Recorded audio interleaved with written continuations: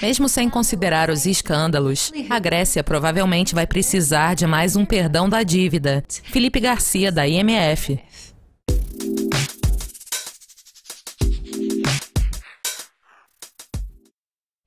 Felipe, as manchetes da semana passada se concentraram na presidente Dilma Rousseff. Esta semana, nós tivemos alegações de inadimplência grega pelo Wikileaks e a divulgação dos Panama Papers.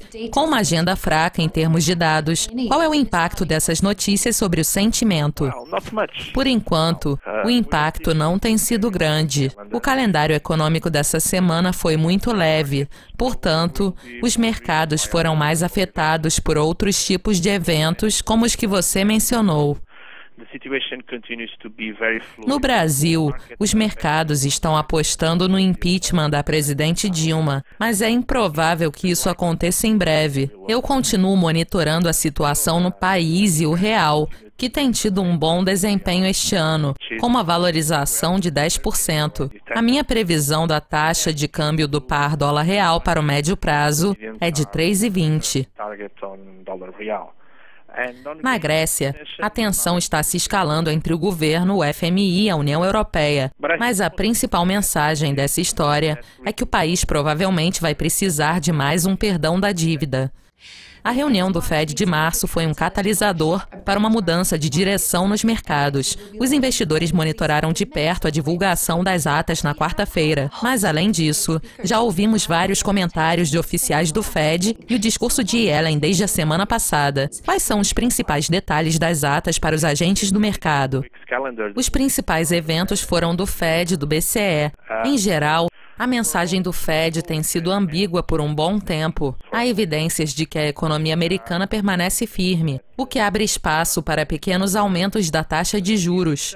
Entretanto, o mesmo não está acontecendo com os mercados, que estão mostrando muito desconforto em relação às taxas de juros mais altas. Através dos discursos do Fed, eu acredito que os mercados estejam tentando descobrir se um aumento das taxas em junho ainda está em jogo. Entretanto, é importante lembrar que a reunião de junho do Fed acontecerá apenas 10 dias antes do referendo de saída do Reino Unido da União Europeia. Como você mencionou, as atas da reunião mostraram o resultado das ações do BCE na tentativa de levantar a inflação.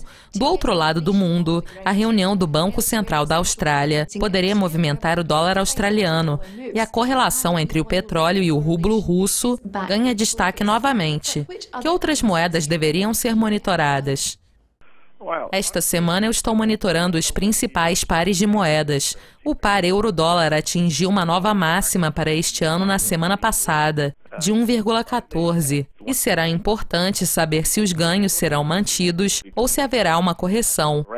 Em se tratando da Libra, as pesquisas indicam que a campanha para a saída do Reino Unido da União Europeia está quatro pontos na frente, mas a Libra caiu 0,5% na segunda-feira, mostrando que o movimento de alta talvez esteja um pouco esgotado.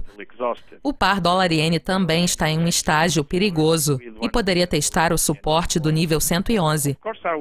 Nesse sentido, apesar de acompanhar as notícias da Austrália, esta semana o foco esteve sobre as moedas moedas principais e o real brasileiro. Felipe, obrigada pela participação. Para mais atualizações sobre as revelações do Wikileaks, continuem clicando em nosso site. Obrigada pela audiência e até mais.